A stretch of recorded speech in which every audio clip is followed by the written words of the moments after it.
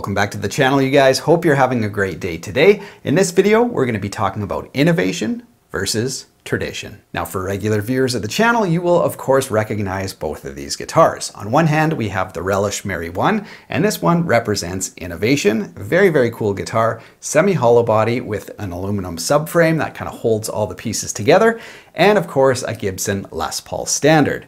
This one represents tradition as, you know, the mahogany and maple combination, which is, you know, some 70 years old. So we've got some innovation versus tradition. Let's jump right in. Now beyond just looking at the features of each guitar, we've got to talk a little bit about tone wood. Now what I'm going to do is put the exact same pickups in both guitars and we're going to do a little bit of a playing comparison.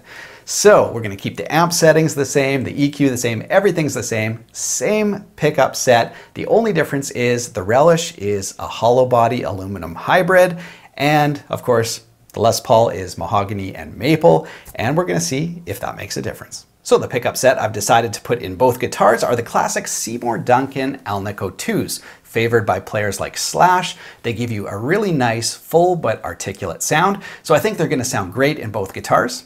Here we go. Now, of course, changing pickups on the Relish Mary 1 could not be easier, and that's one of the main ways that this guitar has massive innovations. So here we go. Take the back off, it's held on with magnets, and the pickups themselves are held on with magnets as well. We'll just pull this set out and check out our Seymour Duncans. So hopefully the camera may grab that. Seymour Duncan Alnico 2s, this is the neck. So let's pop that in there. Boom, and the bridge. Yep, that's right. Done. So now I've got Seymour Duncan Alnico 2s in the relish and we're ready to rock. Now, of course, changing pickups on a traditional instrument is much more work, and for somebody who works slowly like me, it's at least a couple hours, um, but it was a great excuse to get rid of the stock Burstbucker Pros, which I didn't particularly like, and uh, you know gave me an excuse to go to a set that I know I'm gonna like. So I went with the same aesthetics. So the zebra coils, I think they look awesome, give slightly vintage look to a modern instrument. So the looks are the same, uh, but the Burstbucker Pros are gone and the Alnico 2s are in. So ignoring all the differences between the guitars, the wood types, the construction, all this stuff, we're gonna see how close they sound if you just use the same set of pickups. Now we've gotta do a blind test, so we're gonna do quick, like 10 second clips here. Uh, neck, middle, bridge, blind test, here we go.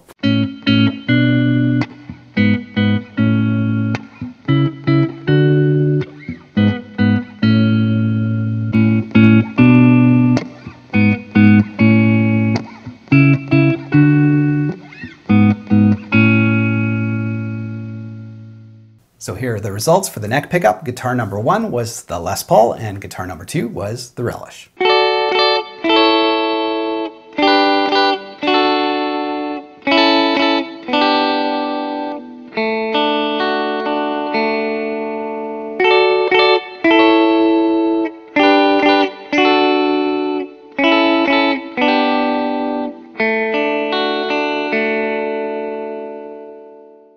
Okay, here are the results. Guitar number one was the Relish. Guitar number two was the Les Paul.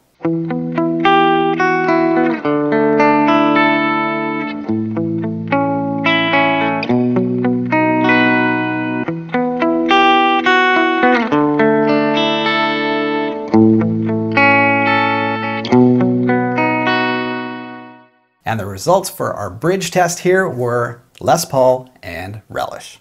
All right, now let's do a clip where you guys can actually see the guitars being played. We're gonna add a touch of overdrive. Here we go.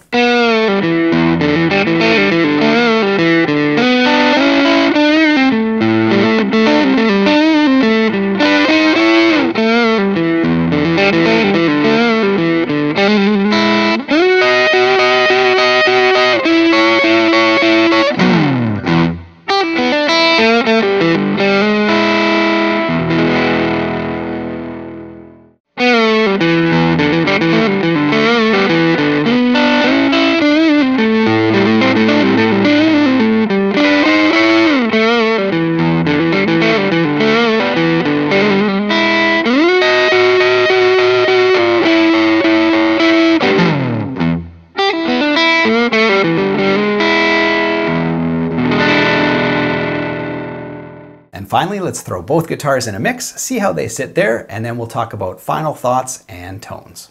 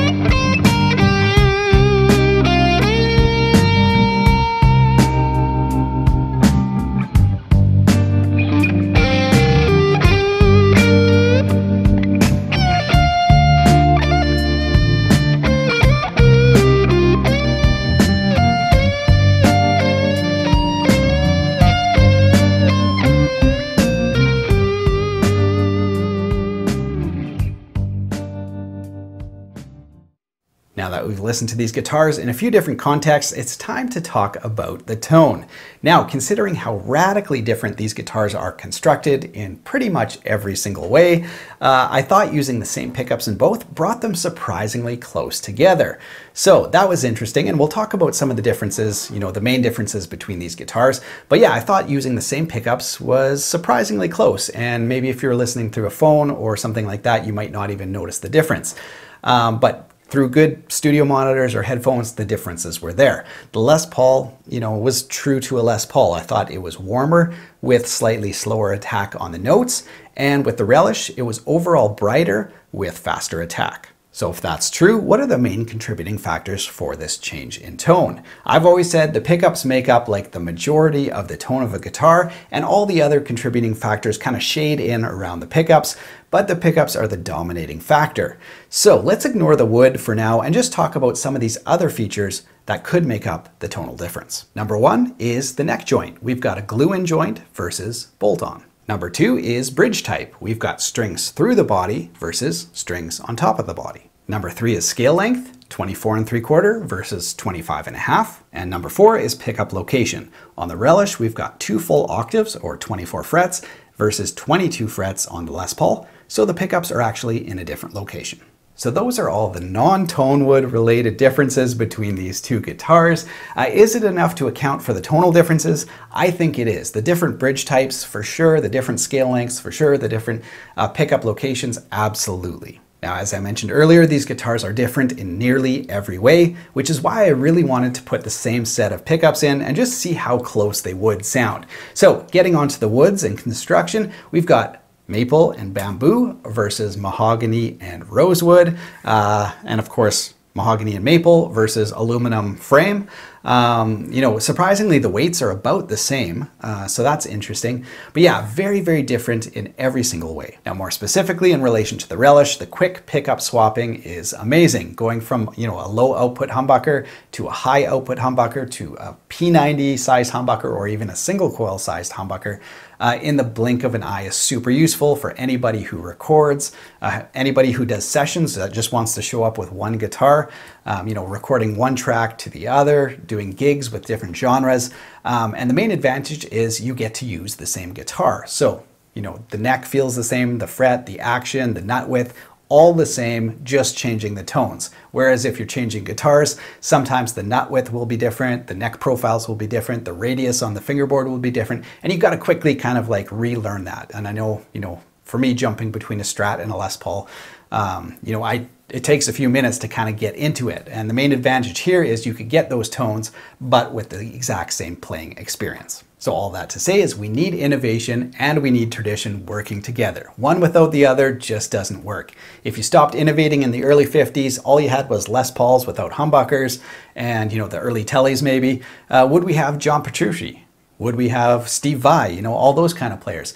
Uh, we're much richer for having, you know, these innovations that come along, you know, even in the, the late 50s, like the Jazzmaster, um, you know, some of the Flying Vs that were like crazy, the early 60s SGs. Every innovation kind of came at, you know, a little bit of a cost. People didn't love them or adopt them right away, but now we're so much richer for them. Thanks so much for watching you guys. Hope you enjoyed this video featuring two amazing guitars. Check out the t-shirt store and the tab store in the video description below on your way out. Other than that, have a fantastic week. We'll see you next time with a new video.